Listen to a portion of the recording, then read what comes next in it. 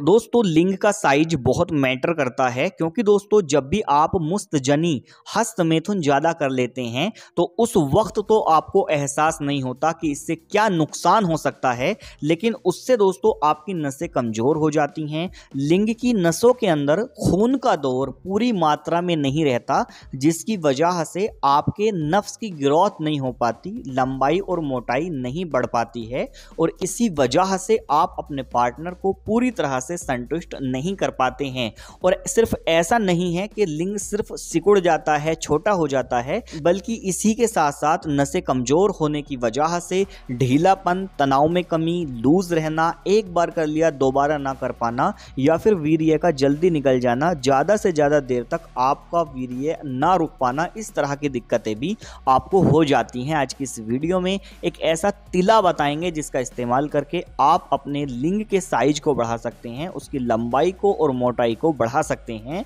तो दोस्तों, मैं हूँ मोहम्मद हुसैन और आप देख रहे हैं हुसैन हेल्थ केयर चैनल। अगर आपने अभी तक इस चैनल को सब्सक्राइब नहीं किया है, इसको सब्सक्राइब करें और घंटे का बटन ज़रूर दबाएँ, इससे हमारी आने वाली इसी तरह की और वीडियोज़ आपके पास सबसे पहले पहुँच जाएँगी। तो चलिए दोस्तों, शुरू करते हैं। इसके लिए आपको कुछ चीज़ों की ज़रूरत होती है, जिसमें पहली चीज़ है जायफल। ये आपको 50 ग्राम लेनी है। उसके बाद दूसरी चीज़ है जौंक। ये भी आपको 50 ग्राम लेना है, उसके बाद है लौंग, ये भी आपको 50 ग्राम लेना है। उसके बाद है अकरकरा, ये भी आपको 50 ग्राम ही लेनी है। ये ईरानी अकरकरा आपको लेनी है। उसके बाद है खरातीन, ये खुश्क खरातीन आपको लेना है 50 ग्राम। उसके बाद है जलवित्री, ये भी आपको लेना है 50 ग्राम। उसके बाद है बीर बहूटी, ये भी आपको लेना है 50 ग्राम। उसके बाद है दालचीनी, ये भी आपको लेना है 50 ग्राम। और उसके बाद है रोगन जैतून, ये आपको लेना है 100 ग्राम। ये सारी ही चीज़ें आपको मार्केट से पंसार की दुकान से आसानी से मिल जाएँगी। जब आप ये सारी चीज़ें मार्केट से ले आएँ, उसके बाद आप जायफल, जौंक, लौंग, अकरकरा खरातीन जलवित्री, बीर, बहुटी, दालचीनी, आप इन सभी चीज़ों का अलग अलग बिल्कुल बारीक सफूफ तैयार कर लें, चूरन तैयार कर लें। उसके बाद आप ये जो जैतून का तेल है आपके पास, आप उसको फाइव एन में डालिए, उस फाइव एन को गैस पर रखिए, गैस को ऑन करिए और जब ये गर्म हो जाए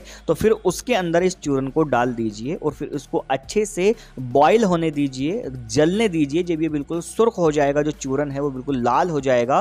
फिर आप इसको नीचे उतार लें गैस से और उसको ठंडा कर लें तेल को और उसके बाद आप इसको किसी कपड़े की मदद से छान लें, किसी शीशे के अंदर भरकर रख लें। अब ये दवाई, ये तेल आपका बनकर तैयार हो चुका है। अब आपको इसका इस्तेमाल दिन में एक बार करना है। किसी भी वक्त आप कर सकते हैं, सुबह में या फिर शाम में। इस्तेमाल करने का तरीका यही है कि चार से पाँच बूंद लेकर आप अपने लिंग पर लगाइए और अच्छे से उंगली से, हल्के हाथ से इसकी मालिश करिए।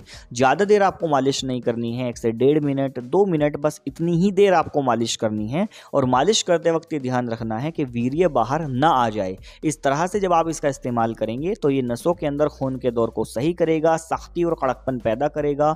लूज रहने की जो दिक्कत है, एक बार कर लिया, दोबारा नहीं होता, दोबारा नहीं कर पाते, दोबारा तैयार होने में काफ़ी वक्त लगता है तो लिंग से संबंधित जो भी आपकी प्रॉब्लम होंगी, उन सारी को पूरी तरह से ठीक करने का काम करेगा, आपकी इन बीमारियों को जड़ से ख़त्म करेगा। आई होप दोस्तों वीडियो आपको काफ़ी पसंद आया होगा। इसी तरह की और इन्फॉर्मेटिव वीडियोज़ के लिए चैनल को सब्सक्राइब कर लें। घंटी का बटन ज़रूर दबाएँ। तो चलिए दोस्तों मिलते हैं एक और नई वीडियो के साथ। तब तक के लिए जय हिंद।